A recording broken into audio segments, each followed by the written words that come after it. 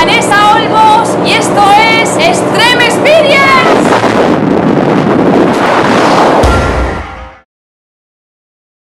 Y ahora vamos a visionar Ibiza, pero a vista de pájaro.